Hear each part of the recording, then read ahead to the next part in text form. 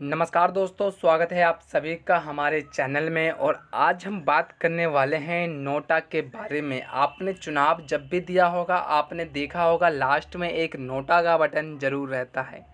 तो ये नोटा का बटन आया कहाँ से, आज की इस वीडियो में हम ये जानेंगे। आज की इस वीडियो में हम जो जो जानने वाले हैं, उसके बारे में सबसे पहले समझते हैं। सबसे पहले हम जानेंगे कि नोटा है क्या, और ये आया कहाँ से। दूसरी बात, नोटा का प्रयोग सबसे पहले कौन से देश ने किया?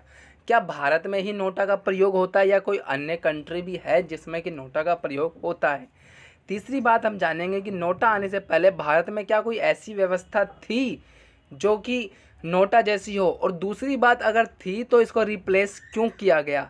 आखिर फिर नोटा क्यों लेके आया गया? दूसरी बात जानेंगे कि नोटा का न्यायालय में कौन से विवाद से फैसला सुनाया था।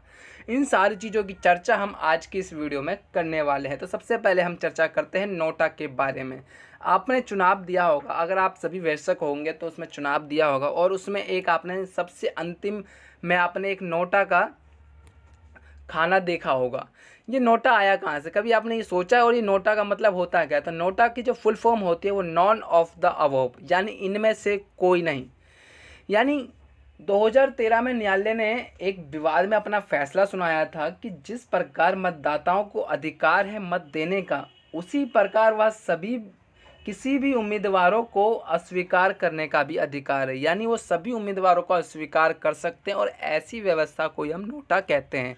यानी नोटा का सीधा सीधा अर्थ है कि हमें जितने भी पंक्ति में मतदाता हैं, उनमें से कोई भी पसंद नहीं है। और कोई भी पसंद ना होने के कारण हम नॉन ऑफ़ द अवोव को चुनते हैं। सवाल यही खड़ा होता है कि नोटा का प्रयोग क्या ये पहला देश भारत में हुआ? 2013 में मैंने बताया कि आपको सुप्रीम कोर्ट के निर्णय के बाद नोटा का प्रयोग होना प्रारंभ हुआ।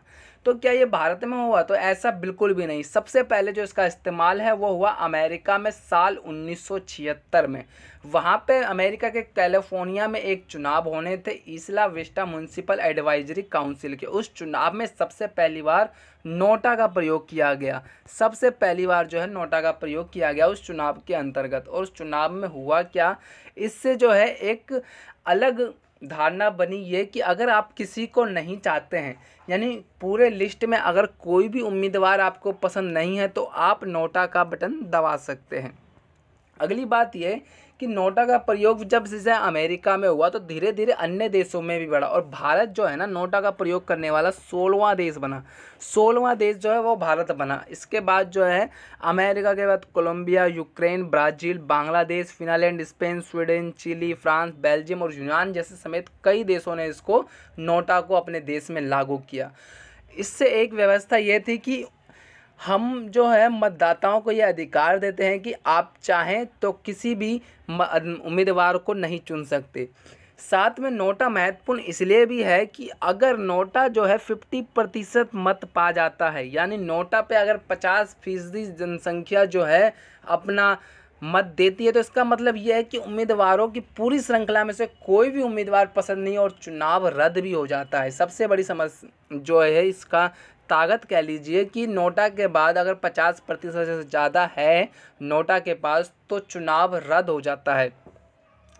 तो अन्य देशों ने भी धीरे धीरे जो है इसको लागू किया। अब सवाल ये आता है कि क्या भारत में ही है नोटा का? क्योंकि भारत ने बड़े लोकतंत्र में सोलवा मैं आपको जैसे बता रहा हूँ कि ये जो भारत जो है, वो सोलवा जो है, वो देश बना था नोटा का। तो इससे पहले कौन सी व्यवस्था थी? क्योंकि हमारे यहाँ चुनाव जो है वो उन्नीस सौ इक्यावन से कंटिन्यू हुए जा रहे हैं। तो उससे पहले कौन सी व्यवस्था थी? क्या कोई ऐसी व्यवस्था थी वोटरों के पास कि वो किसी भी उम्मीदवार को नहीं चुन सकते हैं? तो वो व्यवस्था थी। हम उसका जवाब देंगे कि हाँ वो एक व्यवस्था थी। वो थी भारतीय चुनाव आचार संहिता उन्नीस सौ इकसठ के नियम उनचास ओ के तहत यह अधिकार मिला हुआ था कि अगर मतदाता चाहे तो किसी भी उम्मीदवार को नहीं चुन सकता।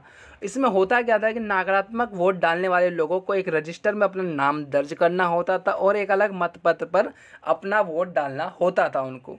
तो अब ये आता है, फिर अलग क्यों लाया गया? फिर नोटा लाया क्यों गया? तो मैं आपको बता दूँ, जो भारतीय चुनाव आचार संहिता 1961 का नियम, जो उनचास ओ है, उसके अंतर्गत क्या था? उसके अंतर्गत था कि जो एक अलग रजिस्टर जो बनेगा ना, उसके अंतर्गत मतदाता की जो है ना, निजता का उल्लंघन हो रहा था कहीं ना कहीं।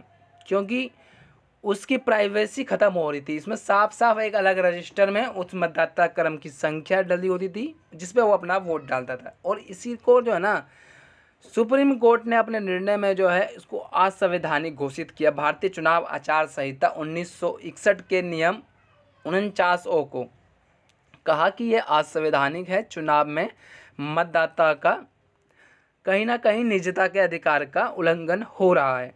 तो इसके बाद ही उन्होंने 2013 में फैसला सुनाया और जो नोटा है ना, वो आया। अब सवाल ये आता है कि आखिर वो कौन सा विवाद था जिसके बाद जो है भारतीय चुनाव आचार संहिता 1961 के नियम उनचास ओ को जो है वो निरस्त किया गया। तो मैं आपको बता दूँ, People's Union for Civil Liberties बनम भारत संघ। ये मामला था। ये मामले के द्वारा ही एक जनहित याचिका थी, जिसके द्वारा जो है नोटा का नियम लागू हुआ, नोटा आया। जिसके द्वारा नोटा आया और 2013 में जो है इसके ऊपर फैसला सुनाया गया सुप्रीम कोर्ट के द्वारा कि चुनाव में जो है ना, वो नोटा का प्रयोग होगा। अब अगली बात क्या आती है ये देखिए। तो नोटा का पहली बार प्रयोग जो है वो 2014 में पाँच राज्यों के विधानसभा चुनाव में किया गया। पाँच राज्यों के विधानसभा चुनावों में किया गया और राज्यों के चुनावों में पंद्रह लाख से अधिक लोगों ने विकल्प, इस विकल्प को जो है चुनाव प्रयोग किया। हालाँकि यह आंकड़ा जो मतदाताओं के एक पॉइंट पाँच प्रतिशत से भी कम था। तो यानी आप देख सकते हैं कि नोटा का प्रयोग कितना अधिक हुआ। आंकड़ा कम था, लेकिन प्रयोग जो है, कहीं ना कहीं उम्मीदवारों की नापसंद जो है, वो जनता के बीच बहुत ज़्यादा थी। पंद्रह लाख से अधिक लोगों ने इस विकल्प का प्रयोग किया। और एक बात और, कि आपके मन में विचार आ रहा होगा कि क्या सर ये प्रत्यक्ष और अप्रत्यक्ष चुनाव दोनों में ही नोटा का प्रयोग होता है? तो इसका जवाब है नहीं। क्योंकि जब 2013 में People's Union for Civil Liberties बनाम भारत संघ मामले में फैसला सुनाया। तो चुनाव आयोग ने दोनों प्रत्यक्ष और अप्रत्यक्ष दोनों में नोटा का प्रयोग करना प्रारंभ किया। लेकिन 21 अगस्त 2018 21 अगस्त 2018 को फिर दोबारा फैसला आया, जिसके अंतर्गत कहा गया कि राज्यसभा और विधान परिषद के चुनाव में नोटा का प्रयोग नहीं किया जाएगा। नोटा का प्रयोग बिल्कुल नहीं किया जाएगा, सिर्फ़ प्रत्येक चुनाव में नोटा का प्रयोग किया जाएगा। तो उसके बाद जो है वो नोटा कंटिन्यू जो है हमारे चुनाव इलेक्ट्रॉनिक वोटिंग मशीन में हम आखिरी में एक छोटा सा देखते हैं, जिस पर क्रॉस का निशान होता है, यानी नॉन ऑफ़ द अवोव जिसे हम कहते हैं नोटा। यानी इसका मतलब यह है कि हमें किसी भी उम्मीदवार को नहीं चुनना, यानी हमें कोई भी उम्मीदवार पसंद नहीं है। और ये जो आया, ये 2013 के सर्वोच्च न्यायालय के फैसले से आया था। अब अगर आपको हमारी वीडियो पसंद आई हो तो लाइक और चैनल को पर नए हो तो चैनल को सब्सक्राइब करके ज़रूर जाएँ। धन्यवाद।